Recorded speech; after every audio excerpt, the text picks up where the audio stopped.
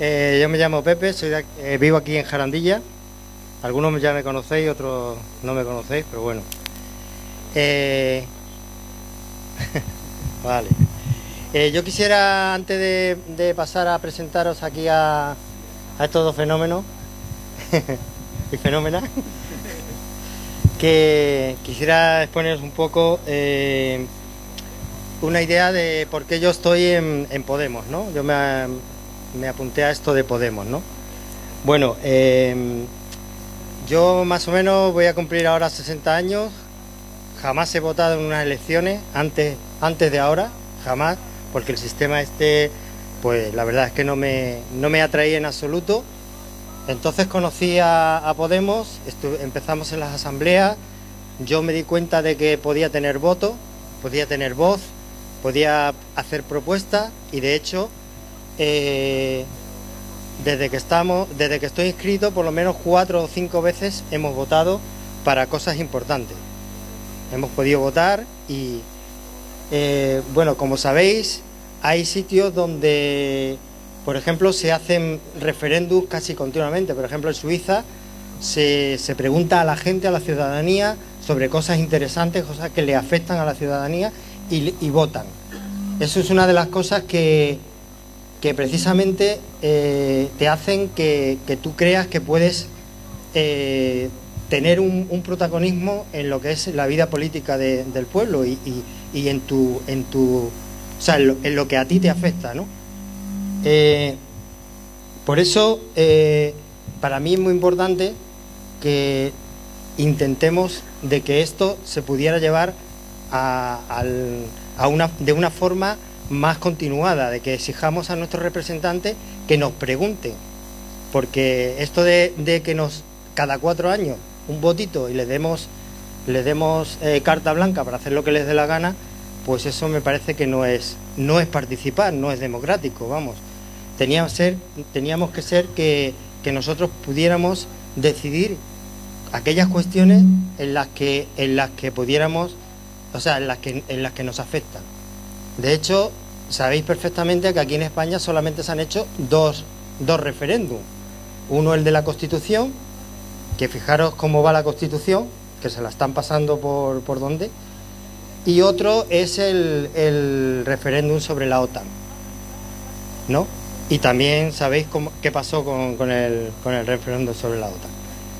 Entonces, tenemos que exigir eso, participación, y, esto de que nosotros podamos, o sea, yo encontrarme en Podemos con que puedo participar y puedo votar, es una de las cosas que me han hecho eh, estar aquí en, Podemos, vamos. Y ya, bueno, ya no meto más rollo porque aquí lo que tienen, los que cuentan son ellos.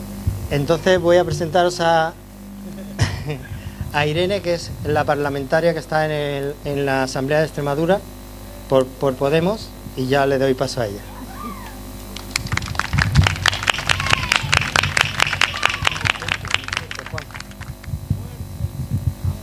Bueno, pues muchas gracias Pepe por tu presentación y, muchas gracias a, todos vosotros por acompañarnos esta tarde. Me hace especial ilusión estar hoy aquí en Jarandilla porque tengo mucho cariño a, esta comarca, a La Vera, tengo muy buenos amigos y además es una zona preciosa y con un potencial maravilloso, un potencial productivo, un potencial turístico, un potencial natural y creo además que la Vera puede convertirse en un modelo, un modelo referente hacia ese modelo, ese cambio de modelo productivo que desde Podemos proponemos. Creo que la Vera tiene todos los ingredientes, todos los elementos para, poder ser ejemplo de lo que Podemos quiere y, hacia donde queremos caminar. Y agradeceros que estéis hoy aquí en este acto de campaña, la sonrisa de un país que se ha llamado, porque esta es la campaña histórica en la que vamos a ganar las elecciones es la campaña en la que, en la que vamos a echar al gobierno del PP, a sus políticas que han puesto por delante de los intereses de las personas los beneficios de las grandes empresas y de los bancos. Estamos ya cansados, estamos hartos de ver cómo la gente no es el centro de las políticas y eso tiene que cambiar. Y, por eso creo que, esta campaña, como os digo, pues, pues es histórica, ¿no? Eh, tenemos que recuperar las instituciones para la gente, las instituciones para la ciudadanía. Había una brecha enorme entre los representantes políticos y la gente y sus representados. Y seguramente que, todos hayamos escuchado esa frase de no nos representan, ¿no? Creo que además todos la, la asumimos como propia, ¿no? No, ¿no? no veíamos que la gente que estuviera en las instituciones estuviera representando realmente nuestros intereses. Y es cierto que esa brecha se, se ha ido cerrando desde que, desde que Podemos ha conseguido entrar en las instituciones. Es muy importante estar en la calle, es muy importante demostrar que la ciudadanía se puede organizar, pero también es muy importante entrar en las instituciones y demostrar que lo podemos hacer bien y que lo vamos a hacer además mejor que ellos. Eh, cuando fueron las anteriores elecciones, el 20 de diciembre, a mí me pasó que cuando vi a nuestros compañeros entrar en el Congreso de los Diputados, me emocioné tremendamente de ver que entraba gente corriente, que entraba gente normal a las instituciones y que era gente con la que yo me, veía totalmente representada, ¿no? que eran el espejo de la, calle, de la ciudadanía. Y entendí que, era un cambio histórico y que estábamos viviendo algo único y que teníamos que, tomar partido y ser protagonistas también. Y no podemos dejar las instituciones en manos de aquellos que han hecho que sean organismos opacos, organismos poco transparentes, porque si no entonces las decisiones se toman a espaldas de la ciudadanía y en contra de la ciudadanía. Y estamos viendo cómo gracias a haber entrado en las instituciones nos estamos dando cuenta de lo que ahí se está cociendo, ¿no? Antes justo hablaba con, con una persona que se me ha olvidado su nombre, contigo, con Diego, de lo importante que era hablar del TTIP aquí en La Vera, ¿no? De cómo nos iba a afectar el Tratado de Libre Comercio con Estados Unidos y la Unión Europea. Un tema que no ha entrado en campaña, que no vais a ver hablando de esto al Partido Popular ni al Partido Socialista y que a mi forma de ver es un tema clave. Es un tema clave porque nos estamos jugando la soberanía ciudadana, nos estamos jugando la soberanía de los pueblos, nos estamos jugando nuestras democracias. Y es un tema que debería ser un eje vertebrador de la campaña saber qué opinan del TTIP los partidos como, el Partido Popular y el Partido Socialista. Si están a favor de que vendamos la soberanía del pueblo a las grandes empresas multinacionales de un lado y otro del charco, o si lo que están a favor es de, revertir esa situación y de ganar en calidad democrática. Em, el TTIP, para que os deis cuenta, ha sido negociado a puerta cerrada. No ha sido participado ni por la ciudadanía, ni por las pymes, ni por las empresas que levantan todos los días este país. Y va totalmente en contra de nuestros intereses como ciudadanos, como consumidores, como trabajadores. Y, no podemos permitirlo. Hay que tener una, una posición contundente, una posición contraria a este tipo de tratados.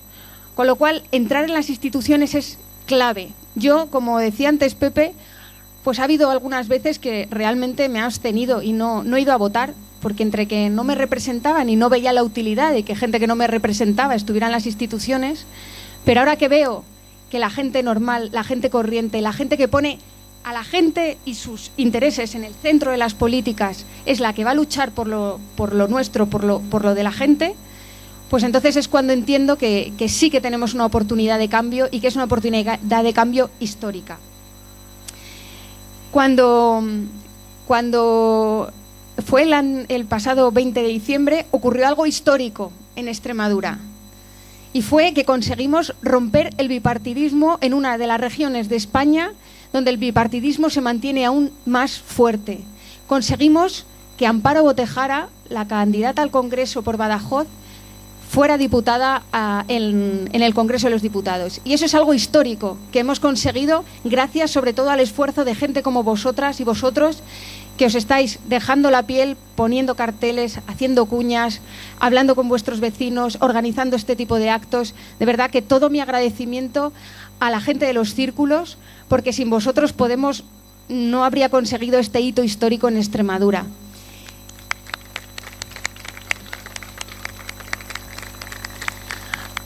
Pero lo que necesitamos ahora es que Extremadura no se quede fuera de esta marea de cambio necesitamos que Amparo vuelva a ir al Congreso y además necesitamos también que Pablo Rodríguez, que me acompaña, que es el candidato por Cáceres, también vaya al Congreso a levantar la voz de los extremeños y las extremeñas, a llevar su voz. Porque, claro que sí, sí se puede y además es que lo hemos demostrado. Necesitamos llevar la voz de Extremadura al Congreso, porque Amparo, cuando llegó al Congreso, se dio cuenta de una cosa, y es que Extremadura no aparecía en el mapa, no estaba en ninguna política, de la, ninguna política estatal que se, se estaba llevando a cabo aparecía Extremadura, porque tanto el Partido Popular como el Partido Socialista olvida de dónde viene cuando llega al Congreso de los Diputados. Y eso nosotros no lo vamos a permitir y no lo vamos a hacer. Nuestro interés es que los intereses, las necesidades de Extremadura estén representadas en el Congreso de los Diputados. Y por eso necesitamos que Pablo también vaya para allá. Y yo sé que lo vamos a conseguir, estoy convencida de que lo vamos a conseguir.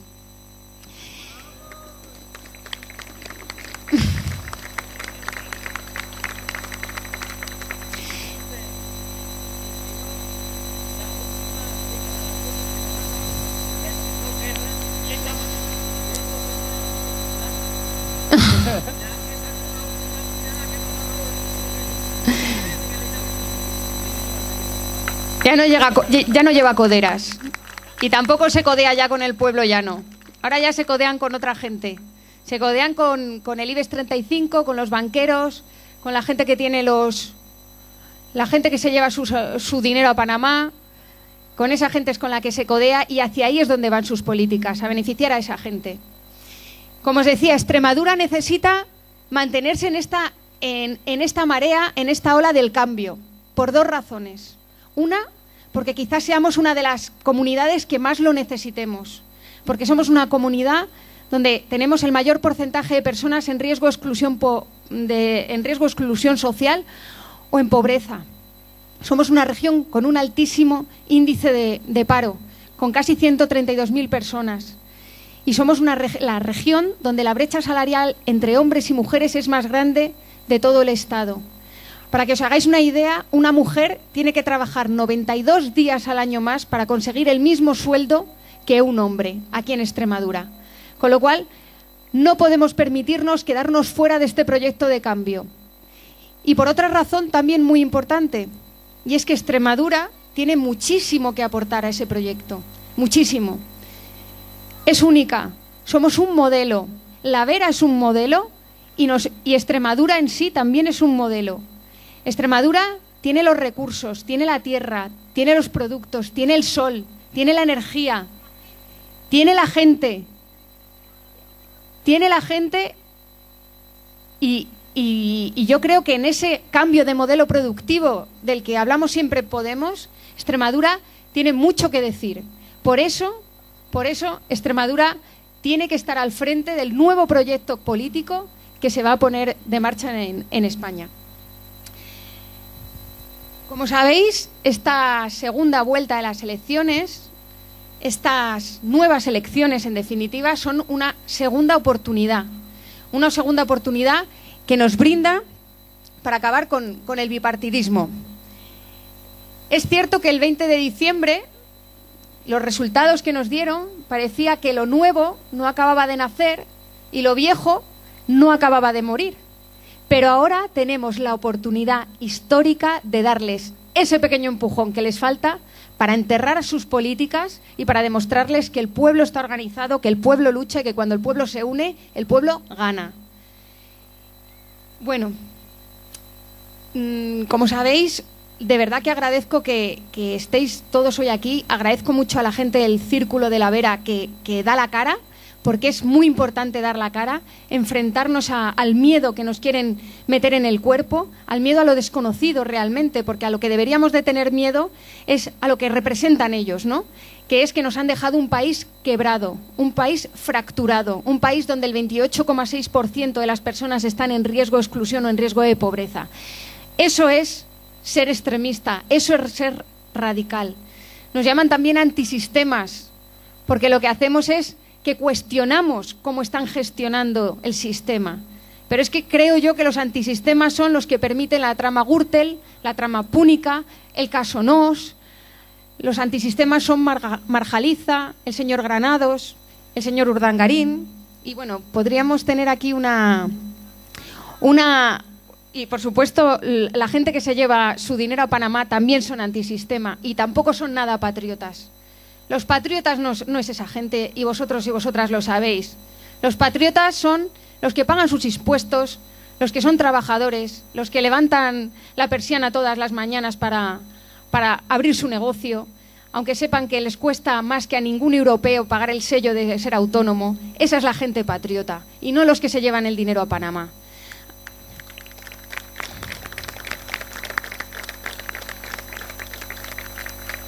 Entonces, en estas elecciones, pues nos enfrentamos a dos opciones realmente.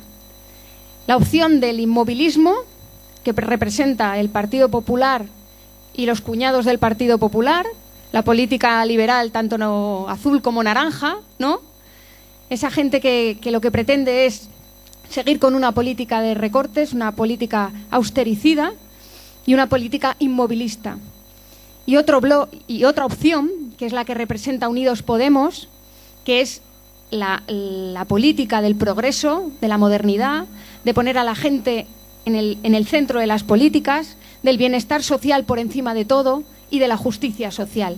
Esas son las dos opciones que tenemos ahora mismo en estas elecciones. Y votar Unidos Podemos no es votar una candidatura, no es votar a, a un partido, es votar un gobierno, porque nosotros ya hemos puesto las cartas encima de la mesa. Nosotros ya hemos dicho con quién queremos gobernar y con quién queremos que, que apoye nuestro gobierno. Y ese es el Partido Socialista. Sabemos que por cómo se va a configurar el hemiciclo, no va a haber una mayoría absoluta de ningún partido y que va a haber que pactar.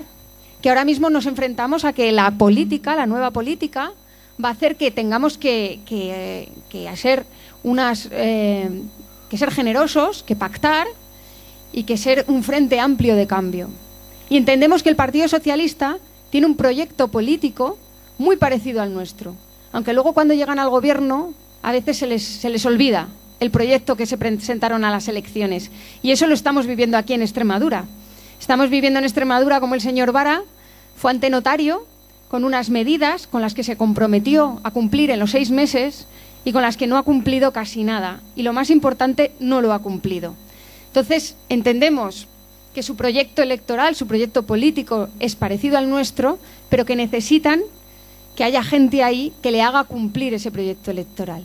Y en este caso, en, esta nueva, estas nuevas elecciones, va a ser Podemos el que tienda la mano al Partido Socialista para poder gobernar conjuntamente. Ahora lo que necesitamos saber es qué va a hacer el señor Sánchez, porque el señor Sánchez no lo está poniendo nada claro. Es más, está totalmente bloqueado, es una opción totalmente opaca y no dice con quién va a pactar, cuando sería tan sencillo, ¿no?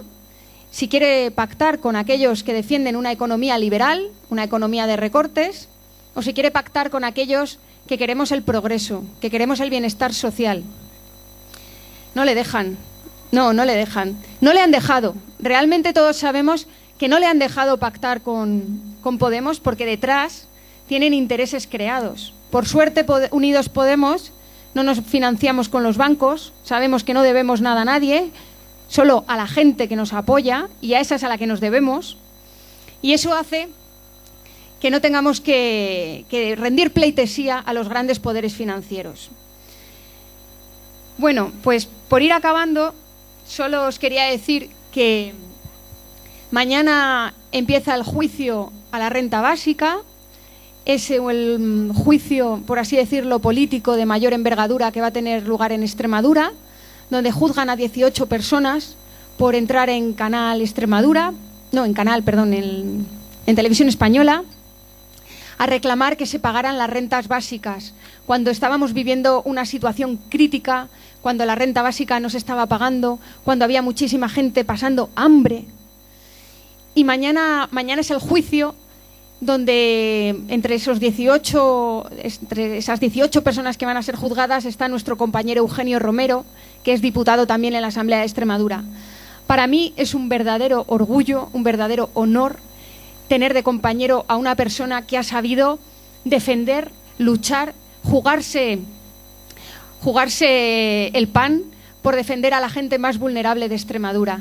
Y creo que, tener a gente así entre nuestras filas dice muchísimo, muchísimo de lo que representa Podemos y de a quién representa y los intereses que representa Podemos Extremadura.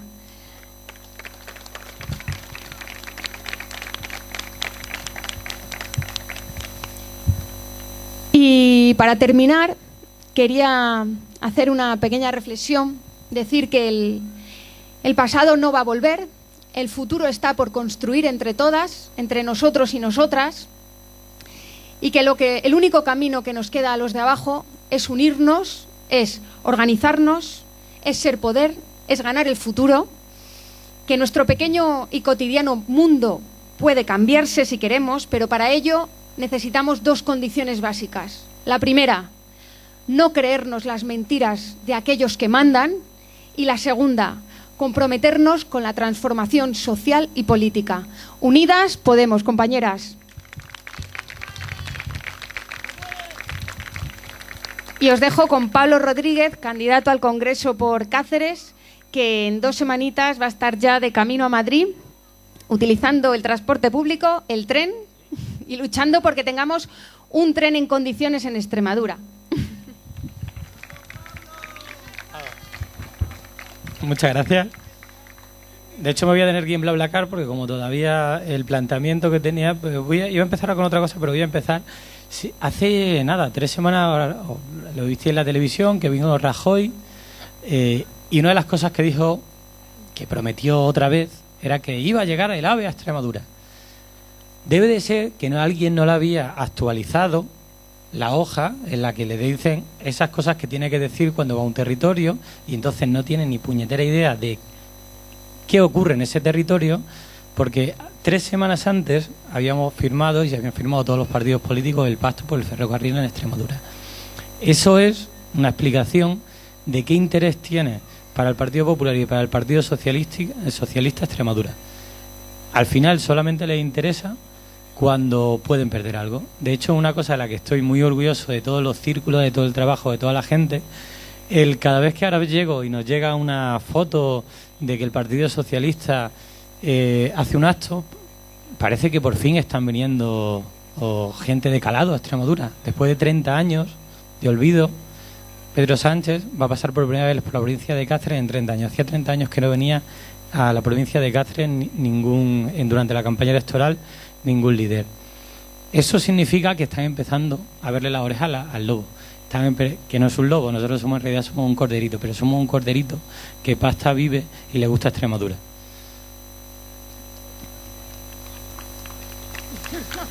Ahora mismo. bueno. Eh, voy a empezar con, con la parte de aquí en se tiene que votar, empezando por una parte que se ha criticado un poco de Podemos, eso de que la campaña nuestra parece un poco ñoña, ¿no? Que tiene mucho corazoncito, mucha sonrisa. Al final, quien puede sonreír, quien viene a los actos o divirtiéndose, riéndose, como veníamos nosotros, o en una furgoneta con, llevando, llevando los sombreros y, las carpas para hacerlo, porque no tenemos dinero, como ha dicho Irene, no, no pedimos dinero a los bancos, venimos sonriendo y venimos porque tenemos ilusión. Es algo que el Partido Socialista, el Partido Popular y Ciudadanos tampoco tienen, porque Ciudadanos son nuevos, pero en realidad son viejos. Siguen siendo viejos, porque siguen entendiendo, siguen sin haber entendido qué es el nuevo espacio político que se crea. La gente está harta de que los políticos vivan de espalda a la gente, que se metan en las instituciones y se olviden, ¿no? Una cosa que decía siempre Amparo, la compañera que ha roto el bipartidismo después de 30 años en Extremadura, que ellos entienden eh, presentarse a la elección en Extremadura como una escalera que hay que pisar para subir y después te olvidas de la escalera. No, no viven de cara a Extremadura llegan allí y no, no vuelven a hacerlo. De hecho, no, no han votado nunca en contra de lo que le marca su partido. No significa que yo vaya a hacerlo a partir del día 27, pero eso es algo que demuestra que no se preocupan los que debían de ser los representantes en Madrid de Extremadura en de verdad obligar a la política estatal que se preocupe de Extremadura. Y por eso nosotros tenemos esa ilusión, porque vamos a ir con la ilusión de de verdad cambiar las políticas de Estado para Extremadura. no porque seamos mejores, sino porque somos trabajadores.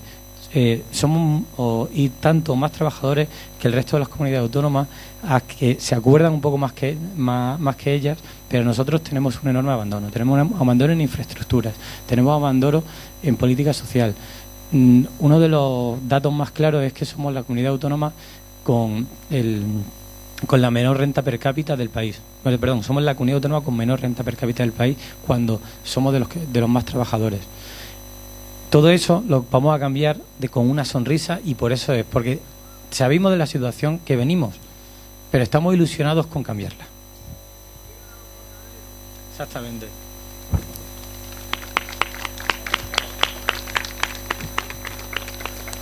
Voy a hacer un poquito, siguiendo con lo mismo, de qué es lo que ha estado haciendo el gobierno del Partido Popular y anteriormente el, gobierno del Partido Socialista durante la crisis.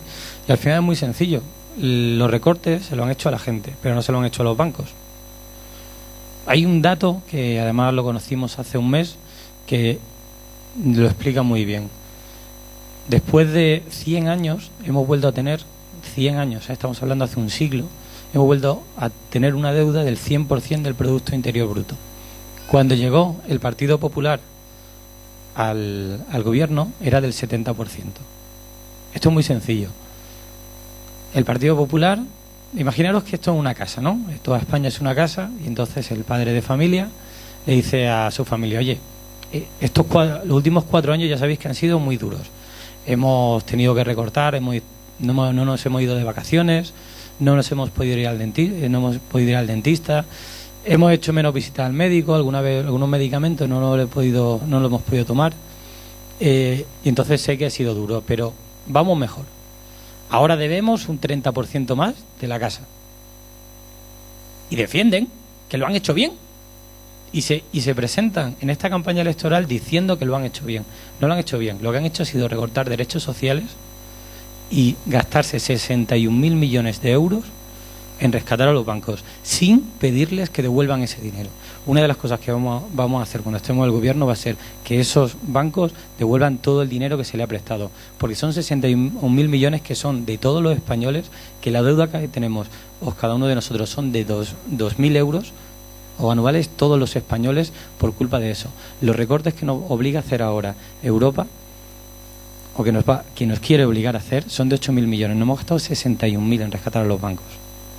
Eso y en hacer amnistías fiscales para que, se traiga el dinero de Panamá o de donde lo tuvieran o de la isla Feroe eh, para, eh, para, conseguir, para conseguir más dinero. Porque al final ese es el problema. El problema es que ellos miran solamente a sus bolsillos.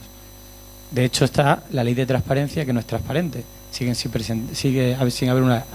dan con bombo y platillo que han hecho una ley de transparencia, pero en cambio ni siquiera son capaces de presentar sus cuentas. Seguramente no presentan sus cuentas porque teniendo en cuenta que hace eh, nada le han tenido que pagar un millón o doscientos mil euros de fianza al Partido Popular para que no le embargaran, seguramente eh, tienen mucha vergüenza para poder presentar sus cuentas. Pero bueno, voy a ir a la parte de qué proponemos para mejorar esta situación y para revertirla. Una de ellas que es muy clara es subir el salario mínimo interprofesional a 900 euros al final de la legislatura.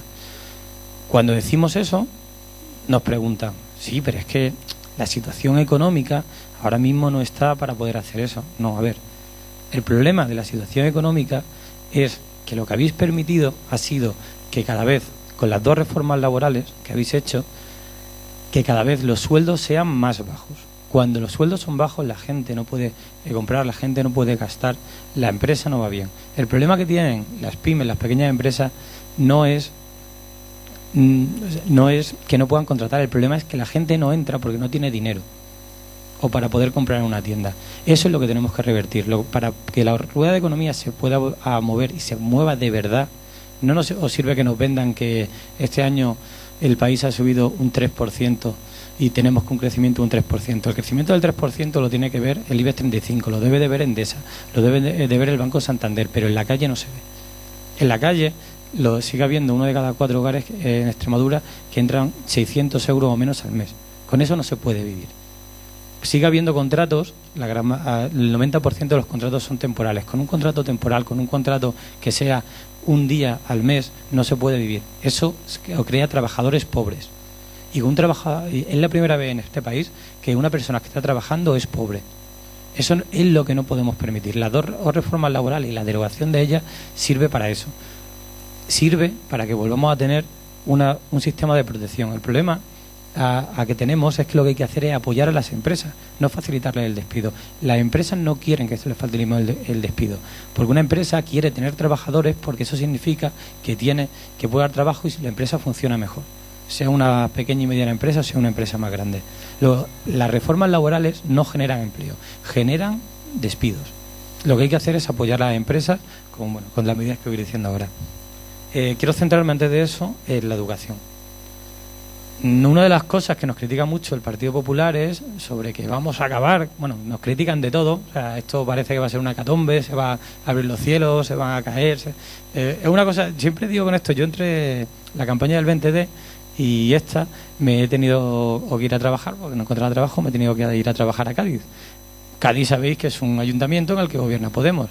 Os puedo asegurar que seguía en el mismo sitio, no se había abierto el cielo, no se lo había tragado el mar, no, había, no se había hundido, no había habido ninguna explosión nuclear, funcionaba, funcionaba muy bien. Se escuchaba más a la gente, los presupuestos eran participativos y la gente allí estaba contenta y seguía funcionando, o no funcionaba igual de bien, funcionaba mejor la ciudad y va a seguir funcionando más. En Madrid, en Barcelona, sigue funcionando. No se va a caer el mundo, ¿no? Uno, de, uno de los de los anuncios o, electorales me gusta mucho porque empieza con eso, de ganó Unidos Podemos y no pasó nada. La vida siguió, solamente que siguió para mejor. Fue la única diferencia. De hecho, además me encanta, y eso sí también quiero pararme aquí y dar las gracias a todas las personas de los círculos, porque ante toda la campaña del miedo que hacen es algo tan sencillo como cuando por mucho que te digan y te pongan en la tele que tenemos rabos y cuernos, que somos los más malos, cuando ves a tu vecino que lleva que lleva toda la vida, le conoces de siempre y te dice, "Oye, estoy en Podemos", es una de las mejores formas de romper el miedo. La gente dice, ah, bueno, espera, si mi vecino está y es muy buena gente, le conozco hace 20 años y lleva toda la vida trabajando y preocupándose por su vecino, no puede ser Podemos malo. Eso realmente es la fuerza de Podemos y lo que hacía. Así que os pido un aplauso para vosotros mismos porque sois los que conseguís romper el miedo y crear la sonrisa. Bueno, como decía que me enrosco, eh, la educación. Una de las cosas que nos critican es que queremos acabar con la educación concertada. No queremos acabar con la educación concertada. Lo que queremos es una, eh, una educación pública y de calidad. Entendemos que la educación pública es la que consigue que todas las personas tengan los mismos derechos para tener una educación de, mm, una, educación de calidad. Entendemos también que no puede ser, como ha estado pasando por primera vez, que haya gente con unas grandísimas capacidades que ha tenido que dejar la, la universidad, que ha tenido que dejar la FP, porque no tenían becas. Eso no puede pasar. Eh, ahí estamos perdiendo el futuro de un país. Las personas a, que formemos ahora van a ser las que van a llevar la economía dentro de 20 años. No podemos perder talento. Tenemos que recuperar a todas las becas que se han perdido, ponerlas al nivel de 2012 eh, y porque, para no perder ese futuro, porque eso es el futuro. Hay otra parte muy importante que es la educación de 0 a 3 años, que ahora mismo no está apagada, que tienes que pagar de bolsillo y es imprescindible para conseguir una conciliación familiar y para que esos niños tengan, tengan derecho a también tener una educación. Porque ahora mismo, con la situación económica, eh, es inviable para muchas familias pagar una guardería.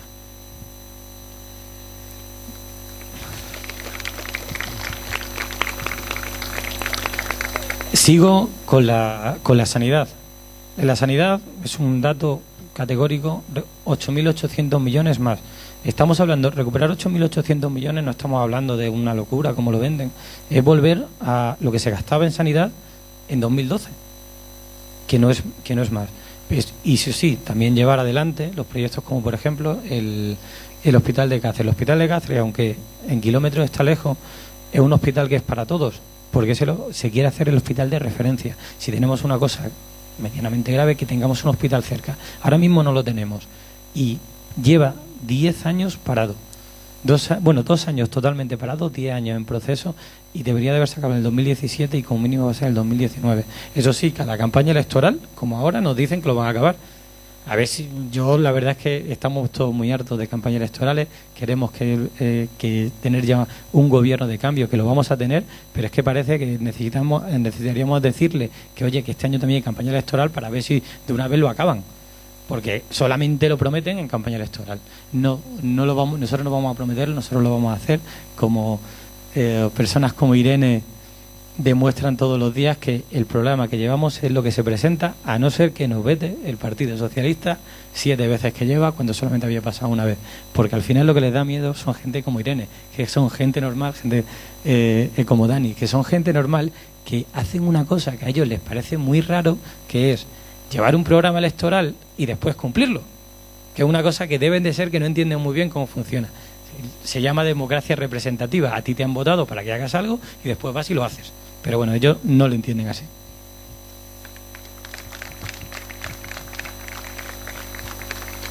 Otra parte importante es la eliminación del copago sanitario. La eliminación del copago sanitario, además Amparo, que, que es médico, siempre nos dice, no digáis que se elimina porque no se elimina. Y es cierto, no se elimina. Se elimina para todas las personas que ganen menos de 12.000 euros al año, que son las personas que lógicamente lo necesitan ahí entraríamos todos los pensionistas y todas las personas que, como yo y como muchos de vosotros, pues estamos por debajo del mileurismo y bueno, el mileurismo, ahora ya el, que es mileurista es un privilegiado. No debería ser y no va a ser así. Y a partir de 12.000 euros tiene que ser, lógicamente, dependiendo del nivel de renta. No puede ser que ganes 15.000 euros y pagues lo mismo en copago o que el que, el que gana 60.000. Que paga 60.000 seguramente tendrá mucho menos problemas de tener un copago. O, así, se, eh, así lo entendemos desde Podemos. Eh, entendemos que la presión fiscal tiene que estar siempre en, cuestión de la renta. No es normal que ahora mismo o lo que se suban son los impuestos indirectos que al final nos acaban tocando a todos, te el IVA como el, mayor ejemplo, que al final nos acaban tocando a todos y son los impuestos más injustos. Yo estoy encantado de pagar más impuestos si gano 60.000 euros al año. No creo que, lo, que me suban nunca los impuestos, pues no creo que nunca llegue a ganarlos, pero estaría encantado.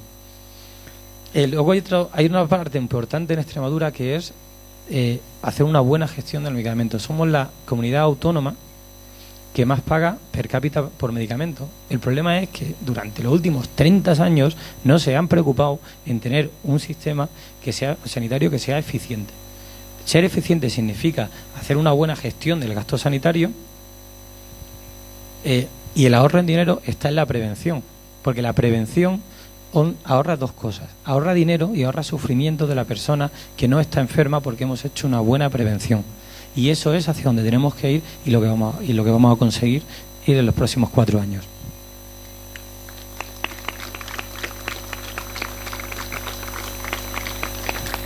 La siguiente, y es una cosa que además nos interesa mucho en Extremadura porque somos una de las comunidades autónomas más envejecidas y lo vamos a hacer y lo vamos a seguir siendo de aquí en adelante, son las pensiones. Aquí es categórico, las pensiones se pagan con los cotizantes de ahora, con las personas que están trabajando. Para asegurar las pensiones tenemos que asegurar el trabajo. Hay otros partidos, por ejemplo Ciudadanos, que lo que hace es mm, decir, bueno, pues vamos a hacer una cosa, para, eh, para elevar el trabajo vamos a, a rebajar lo que paga una empresa sobre un trabajador. Nosotros le decimos no. La persona que está pagando, a ti cuando te pagan, aunque hay una parte de tu sueldo que no vemos, forma parte de tu sueldo. Y es lo que tú cotizas, lo que tú te, a ti te van a enrejar, aunque no sea el neto, es lo que tú cotizas y sobre lo que te van a pagar tu pensión cuando te jubiles. Entonces, lo que, lo que plantea Ciudadanos, lo que está planteando el Partido Popular con las políticas a que está haciendo es eliminar esas, esa, eh, eh, esas cotizaciones. Esas cotizaciones lo que, van a lo que producen son que haya menos ingresos en la caja de las pensiones, menos ingresos para sanidad, menos ingresos para educación y además están vendiendo nuestras pensiones, las pensiones mías y de todas las personas que dentro o, o de, de 40 años vamos a ser pensionistas y vamos a cobrar menos por culpa de esas políticas. Nosotros no queremos eso, nosotros queremos asegurar el trabajo, que los sueldos sean altos, que la gente está encantado de pagarme impuestos cuando los sueldos son altos para tener una buena pensión y para asegurar las pensiones de los, de los, pensionistas que están ahora mismo cobrándolas. Esa es la forma y esa es la fórmula de verdad para conseguir asegurar o que, que todos los pensionistas en Extremadura sigan teniendo y subir las pensiones mínimas, que es de vergüenza las pensiones y como tienen que vivir nuestros mayores, que se han partido la espalda para levantar este país de la situación en la que estaba y en la que estamos ahora.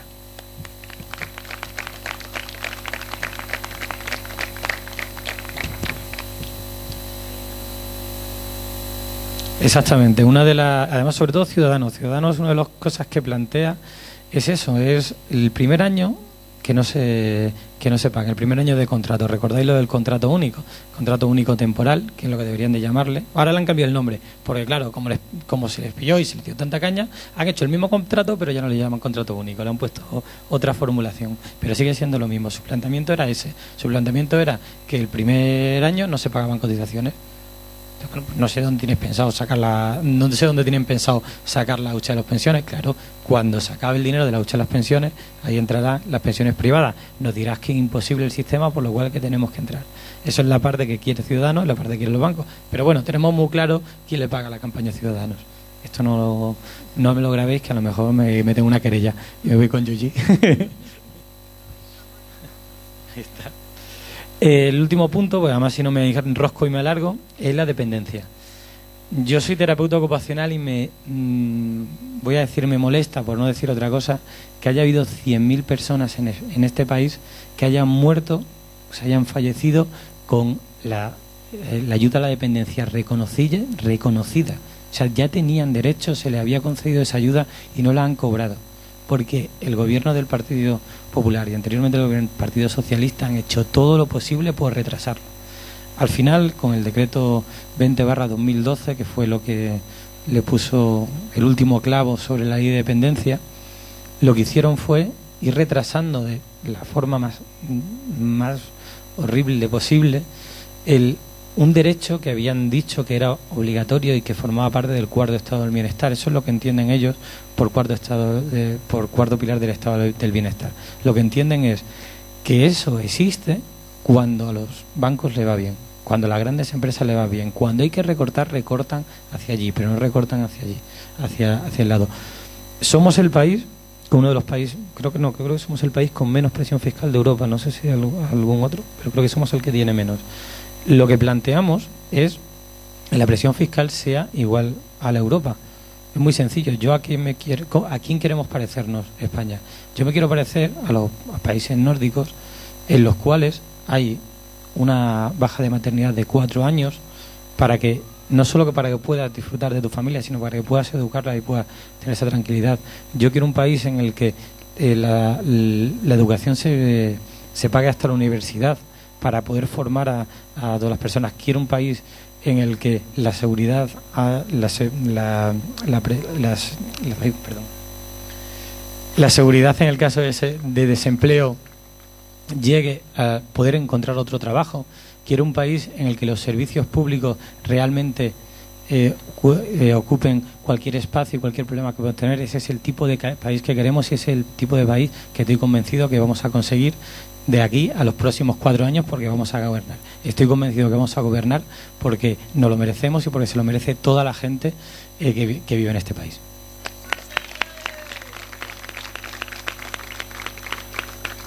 Bueno, y por cerrar, porque una de las cosas que más nos gusta es, aunque al final nos acabamos alargando, es que nos preguntéis, ¿vale? Cierro ya en esta parte para que nos preguntéis.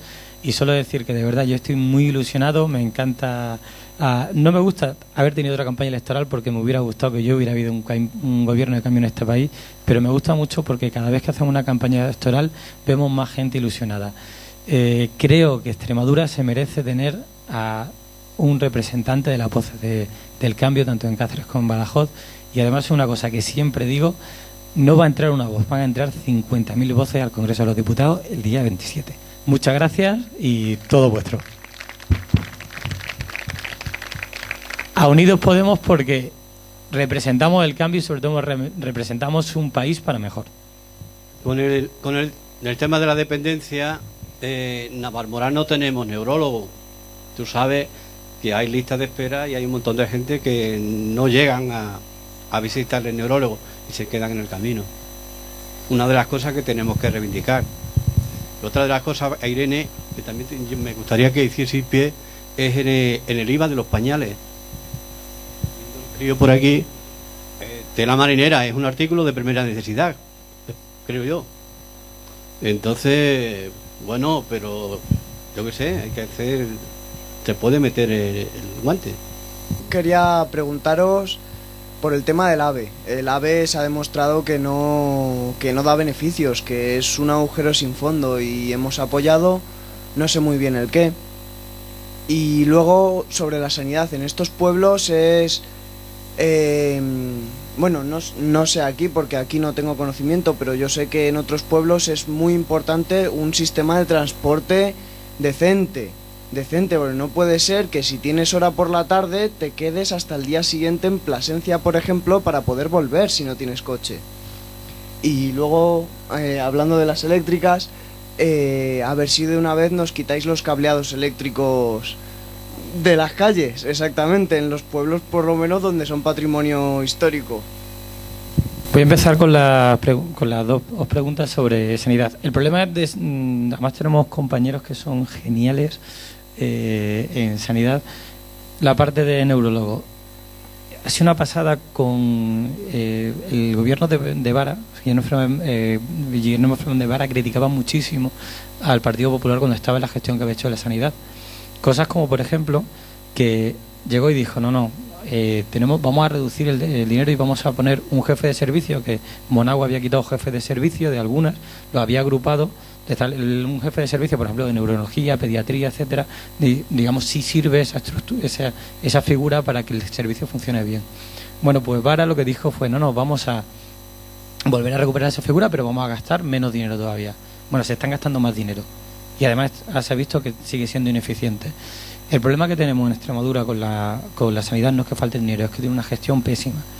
Eh, los puntos o los puntos de, mm, de atención rural se han, desa- se han desarrollado de una forma totalmente ineficaz. Cuando, básicamente, eh, cuando prometieron que iban a volver a, lo- a los pueblos, curiosamente volvieron a los pueblos que tenían alcaldes socialistas o populares, dependiendo de cuál fuera.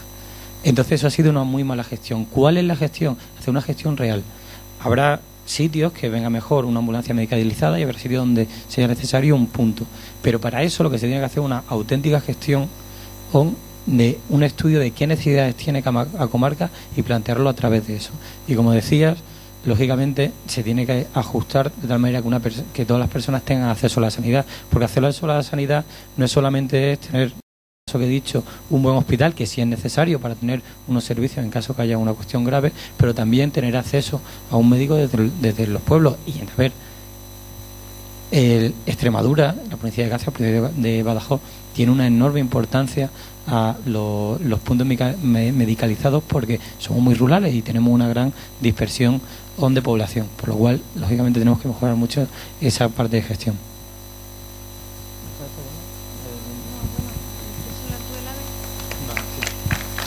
¿Hablas tú del IVA? Estamos dividiendo eh, Extremadura y estatal. Vale, pues hablo yo del AVE. Vale, el AVE. Hay un problema con el AVE en el sentido que tenemos que hacerlo. ¿Por qué? Los fondos son europeos, por lo cual, mm, en el caso de que no finalizáramos la obra del AVE, tendríamos que devolver ese dinero. Cosa mm, que es estupendo. A ver, vamos a para una comunidad autónoma que el problema que tiene es que tenemos eh, tenemos todavía ah, eh, parte del, del tren del Tajo que son tiene catenaria de los, perdón tiene catenaria tiene raíles de los años 50 la solución es tener un tren o dos al, al día a Madrid. No lo que tenemos que hacer es estructurar bien la comunidad autónoma. La tenemos que vertebrar de norte a sur, de este a oeste, de tal manera que puedan llegar los turistas y que puedan salir las mercancías de los productos que hagamos aquí. Eso es lo que necesitamos. El, el AVE es, además, con, pero además demostrado, es mm, imposible de mantener en una comunidad autónoma como la nuestra. ¿Por qué? Porque la línea del AVE tiene un coste de... No, no solamente ya el coste que es enorme, la, la propia implantación del AVE, la construcción en sí, tiene un gran problema de mantenimiento. Eh, el AVE es una línea que va con alta tensión, tenemos que generar cableados porque esa alta tensión no nos sirve un punto de luz mm, común que por ejemplo con un tren de, de altas prestaciones sí nos serviría, que puede llegar a ir a 220 eh, kilómetros por hora. con un AVE no nos sirve, tenemos que hacer subestaciones, las líneas son un tren ligero, por lo cual tiene una gran cantidad de problemas que no lo hace. Aún así tenemos que finalizar esa línea porque la tenemos, o sea, son fondos europeos y si no tendríamos tendríamos que pagar una sanción. Eso sí, lo que entendemos y lo que se pone en el pasto o por el por el ferrocarril en Extremadura es vertebrar y entonces con una inversión mínima en comparación con todo el gasto que se lave arreglar las vías que ya tenemos, que básicamente hay que eh, mejorar algunas curvas que son demasiado fuertes, por lo cual no podemos hacerlo, y meter trenes de altas prestaciones que comuniquen toda la comunidad autónoma.